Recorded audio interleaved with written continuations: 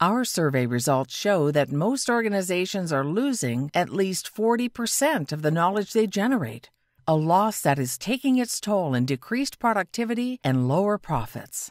How often does a business analyst, engineer, or scientist regenerate existing experiments or research, solve an existing or similar problem that was previously solved, reinvestigate a process or equipment problem, re examine existing material properties and their behavior, or repeat an experiment on an existing design or subassembly. Regenerating knowledge work means that you are likely making the same types of mistakes over and over again.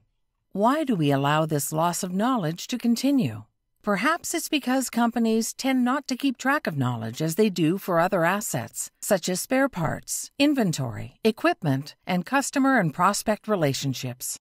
In other words, no other knowledge management systems are tailored to the particular requirements of engineering, science, and research until now.